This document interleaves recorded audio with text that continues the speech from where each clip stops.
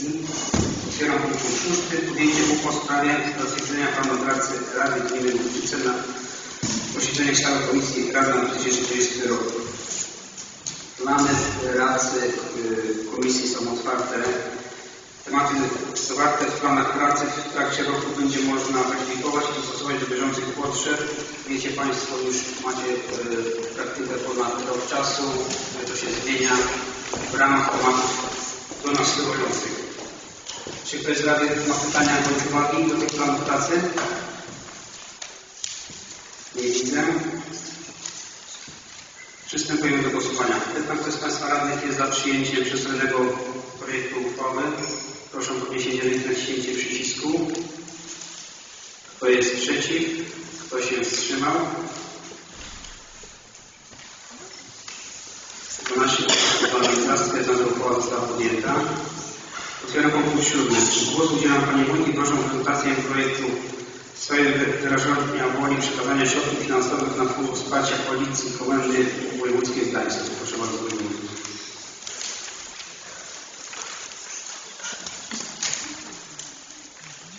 Komenda, Komenda Policji zwróciła się e, z wnioskiem o przekazanie, jeżeli jest taka możliwość, e, kwoty 50 tysięcy na zakup samochodu.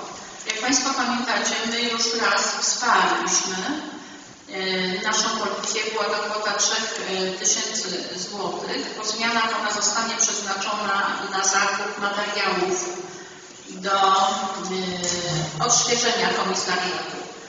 Y, Tabor naszej policji jest bardzo wysłużony.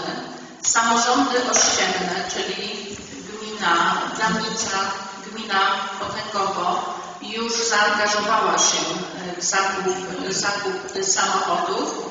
Teraz My mamy taką możliwość. Wstępnie Państwo wyraziliście już na to zgodę. Na spotkaniu był obecny Pan Komendant, Pan Marcin Sidor, przedstawiał, e, przedstawiał ten problem. E, Państwo pozytywnie do tego się ustosunkowaliście. W tej chwili to jest tylko doprowadzenie do tego punktu finalnego, czyli niezbędne jest podjęcie uchwały w tym zakresie. Dziękuję Panie Wójt. Czy ktoś z radnych ma jakieś pytania bądź uwagi? Nie widzę. Przystępujemy do głosowania. Pytam, kto z Państwa radnych jest za przyjęciem przedstawionego uchwały. Proszę o podniesienie ręki cięcie przycisku. Kto jest przeciw? Kto się wstrzymał?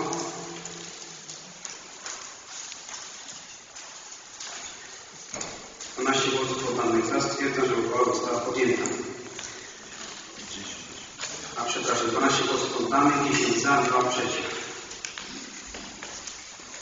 Uchwała została podjęta.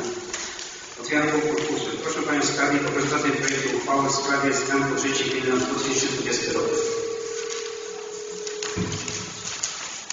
Proszę Państwa, w związku z po- z podjętą przed chwilą uchwałą w sprawie dofinansowania zakupu samochodów do policji oraz wylicytowania e, zakupu działki na ulicy Lipowej e, musimy e, zabezpieczyć środki w budżecie gminy. Jest to kwota 505 tysięcy, 455 tysięcy to jest na i nieruchomości na ulicy Lipowej i 50 tysięcy to dotacja dla policji. E, Zostanie to, e, e, zwiększymy deficyt o tą kwotę 505 tysięcy, który pokryty zostanie wolnymi środkami. Dziękuję. Dziękuję Pani. Czy są pytania uwagi ze strony Rady? Nie widzę. Przystępujemy do głosowania. Pytam, z Państwa radnych jest za przyjęciem przedstawionego projektu uchwały. Proszę o podniesienie ręki na naciśnięcie odpowiedniego przycisku. Kto jest przeciw? Kto się wstrzymał? 12 głosów oddanych i 12 głosów za. Stwierdzam, że uchwała została podjęta. Przechodzimy do podpunktu piątego. również Panią Skarbnik prezentację projektu uchwały w sprawie zmiany wieloletniej prognozy finansowej. Państwo wiecie, jeżeli e, cokolwiek się zadzieje w budżecie, musimy e, to samo zrobić w wieloletniej prognozie finansowej. W związku z tym, że e, zwiększaliśmy deficyt o 505 tysięcy, który pokryty zostaje wolnymi środkami, taką samą zmianę musimy pokazać w wieloletniej prognozie finansowej. Dziękuję. Czy są pytania strony Rady? Bądź przykładne? Nie widzę. Przechodzimy do głosowania. Pytam, kto z Państwa Rady jest za przyjęciem przed- przedstawionej propozycji uchwały? Kto jest przeciw? Kto się wstrzymał?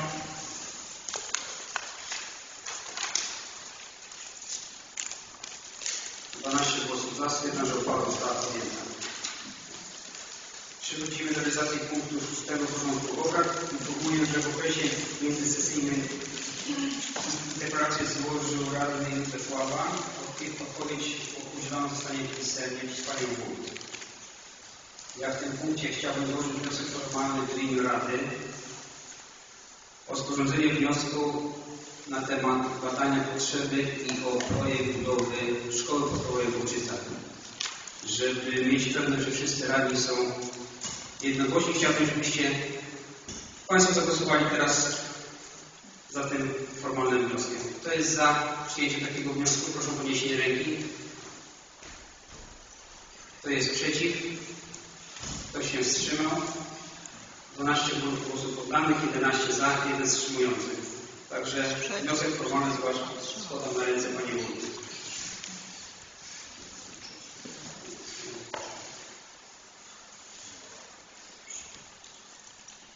Przechodzimy do punktu siódmego porządku obrad. Informacje, wnioski i oświadczenia. Proszę bardzo, zastępca wójta, pan Rafał. Szanowni Państwo, mieliśmy zimy przez jeden dzień, a ona nas tańczyła nam trochę problemów. Informacyjnie do Państwa radnych, również e, Państwa sołtysów e, w dniu wczorajszym wystąpiły przerwy w dostawie energii elektrycznej, a co się z tym wiąże również przerwy w dostawie wody. E, Zakład Usług Publicznych podjął te działania, na które mógł sobie pozwolić, czyli w dniu dzisiejszym rozpoczął jakby awaryjne zasilenie hydroformii, aby mieszkańcom dać możliwość uzyskania tej wody.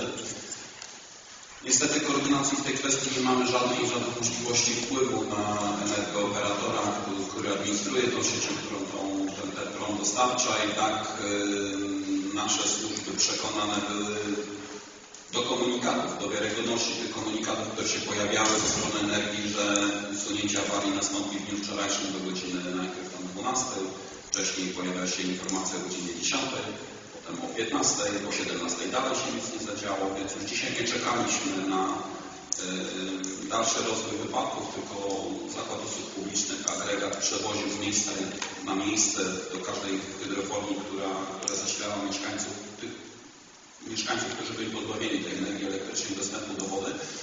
Niestety mieliśmy też takie potknięcia, że w momencie, kiedy hydroformia zaczęła już działać, e, mogła zacząć funkcjonować, włączono prąd, ale nie poddajemy się tej kwestii.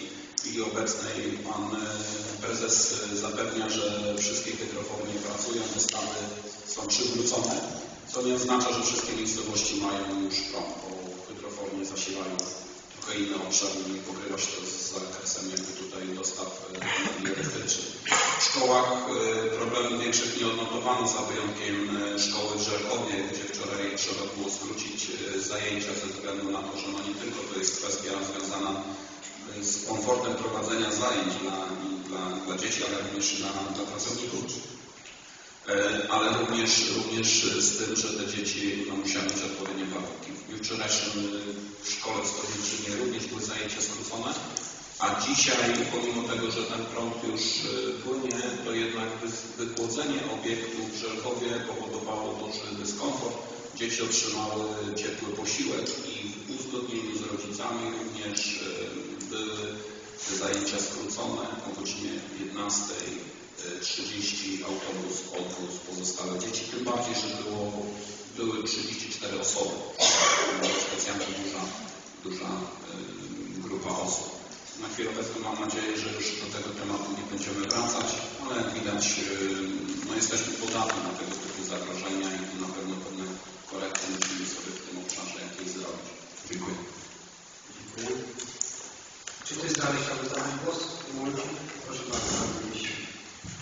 Panie Wójt, y, zgłosiłbym takie spostrzeżenie jak nas jeszcze raz zima zaskoczy, to żeby pługi śnieżne nie wyjeżdżały o godzinie siódmej, tylko co, co najpóźniej o piątej, bo mieszkańcy do pracy muszą dojechać niestety na godzinę siódmą. A miało to miejsce właśnie, że pług do odśnieżania drogi dopiero światło o godzinie siódmej. To tak na przyszłość. Nie? Nie, nie, nie, nie chodzi o drogi powiatowe. Drogi powiatowe,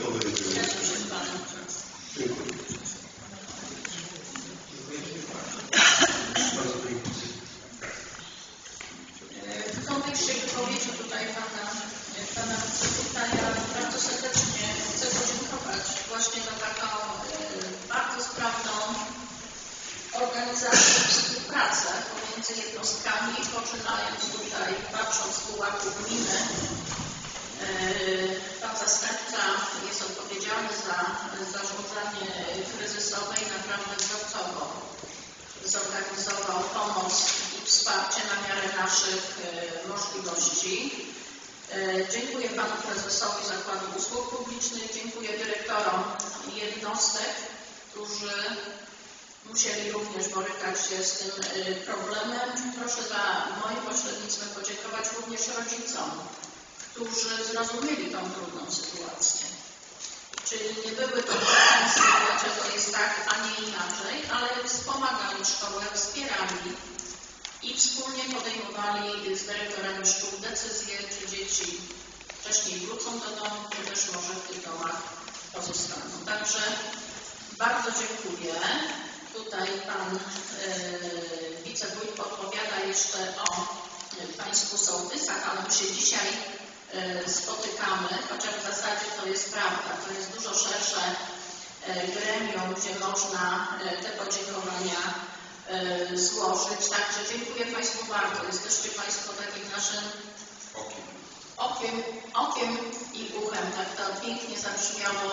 Nie jest łatwo informować mieszkańców, starać się dotrzeć do każdego. Naprawdę poradziliśmy sobie z tym problemem i jestem wszystkim Państwu bardzo wdzięczna. Z drugiej strony też podbudowana, że mimo sytuacji, sytuacji trudnych potrafimy sobie wspólnie z tymi problemami radzić.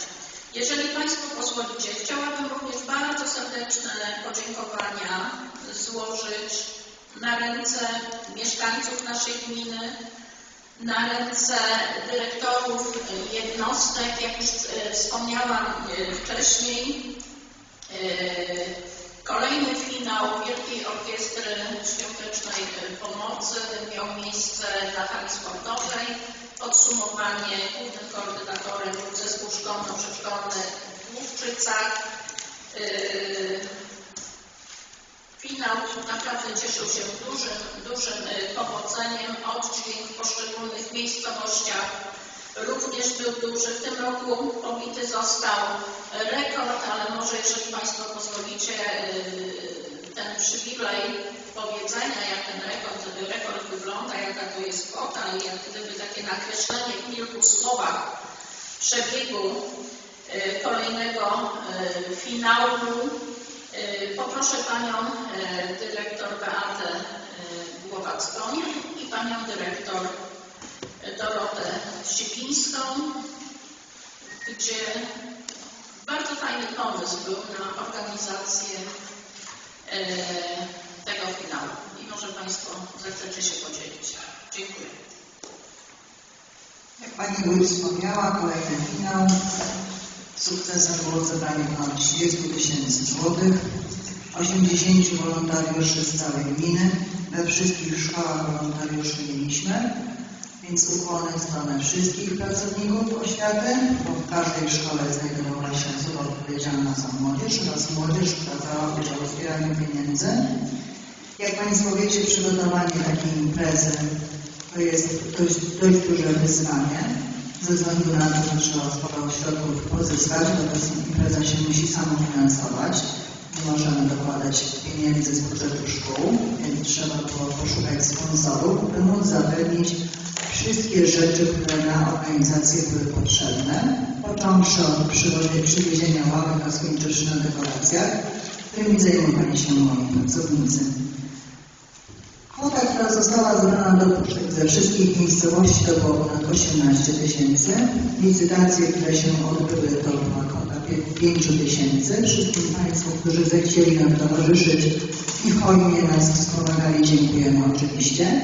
Natomiast pozostałe środki, które pozwoliły rekord, to były pieniądze, które udało nam się uzyskać z naszych stoisk, które zostały zaproponowane. Bardzo dużą popularnością jak co roku cieszyły się e, kiermasze, to tak zwana cegiełka osiakowa, bo to się tak nazywało, to nie jest loteria. Oprócz tego oczywiście proponowane przez nas inne stoiska, między innymi również ciasta. Tutaj spali, spali nas jak zwykle rodzice wszystkich klas. Jak Państwo widzieli, były tam też stoiska Amikusa, było stoisko straży, były kobiety kreatywne, był seniora. Wszyscy, do których zgłosiliśmy się w celu współpracy, po to, żeby uatrakcyjnić ten finał, namówili nam pomocy i mam nadzieję, że w przyszłych latach również uda nam się ten finał zorganizować, chociaż mam wiedzę i świadomość, że ciężko będzie tę kwotę. Ale liczę na współpracę i mam nadzieję, że za każdym razem będziemy dumni z naszej i młodzieży, i hojności mieszkańców, bo to jest ważne. Uczyć dzieci tego, by pomagać, organizować takie imprezy po to, żeby czuły się współodpowiedzialne za drugiego człowieka. Bo co by nie powiedzieć o tym, w jaki sposób Wielka Organizacja Świątecznej Pomocy rozlicza się z tych pieniędzy, to zawsze jest to zastrzyk na leczenie. Dzięki temu wszyscy możemy być dumni, że swoją cegiełkę, że swój wysiłek gdzieś tam przyłożyliśmy i jest to dla ogółu ważne. Dziękuję bardzo. W naszej szkole każdego roku odbywa się zbiórka pieniędzy do puszek na taki wolontariat. E, Zawsze otwieramy szkołę w tym celu, ale to, co było nowe i pomysłodawcą i głównym realizatorem tego projektu jest pan Łukasz Stolarski, to zorganizowanie rozgrywek sportowych, gdzie wpisowe było przeznaczone na Orkiestrę Świątecznej Pomocy. No ja tak myślę, panie Łukaszu, że oczekiwania przeszły nasze najśmielsze marzenia, ponieważ przyjęło się około 120 osób. Udało się ponad 1000 zł pozyskać, ale e, co jest istotne, że może nie mówię sama kwota, tak, ale był to czas, kiedy w taki bardzo aktywny sposób ludzie mogli ten czas spędzić i jednocześnie no, przyłożyć się do takiej wspólnej e, akcji, tak? To nie było tylko zwykłe wrzucenie pieniędzy do puszki, ale e, z jakimś takim większym przesłaniem. Także tutaj bardzo Panu Łukaszowi za to e, dziękuję. Jest jego wspaniały pomysł do realizacji. Tutaj zaprosił swoich kolegów, tak? I Pan Stefan przyjechał, pomimo tego, że już nie pracuje w szkole, ale systematycznie nas odwiedza. I, i bardzo aktywnie również włączyli się członkowie e, do Olszewskiego Klubu Sportowego Żelki. Myślę, że jest to impreza, która będzie w przyszłości kontynuowana. Dziękuję Państwu. Jesteśmy przy dniach piłki nożnej, Panie Łukaszu, może swoim turnieju. Jako dowód Częsty Klub Sportowy Wszelki Rzekowo chcielibyśmy serdecznie zaprosić wszystkich 23 lutego e, na turniej, wojewódzki turniej piłki nożnej, który odbędzie się na hali w Główczycach. E, Startujemy od godziny 9. W będzie brało udział e, 10 zespołów z całego województwa i to mm, dość silnych zespołów. E, Będą, będą grały dzieci w roczniku 2008 i młodsi, czyli e, piąta, a nawet szósta klasa i młodsze dzieci, więc serdecznie wszystkich zapraszam. Myślę, że wspólnie e, będziemy się dobrze bawić i emocje będzie brakowało. Dziękuję. Dziękuję również. Czy ktoś z Rady chciałby jeszcze zabrać głos? Nie widzę. Czy ktoś może zgłosić zaproszonym sołtysów? Nie widzę. Ja może dodam tylko, że planowana sesja następna jest na 27 lutego i będzie poświęcona inwestycjom drogowym na terenie naszej gminy oraz utrzymaniu czystości i porządku. Yy, Wysłaliśmy zaproszenia do ludzi, którzy y, jakie są odpowiedzialni za drogi powiatowe i wojewódzkie, również do pana marszałka. Zobaczymy, jak będzie efekt tych zaproszeń. Jeśli nie ma więcej chętnych do zadania głosu. Nie ma. Przechodzimy do punktu. Ktoś chciał? Nie. Na razie są ty. Okej, okay, dobrze. Nie przechodzimy do punktu 8. Stwierdzam, że porządek obrad został wyczerpany. Dziękuję wszystkim za udział w sesji. Zamykam 17 sesję Rady Gminy Dziękuję Państwu.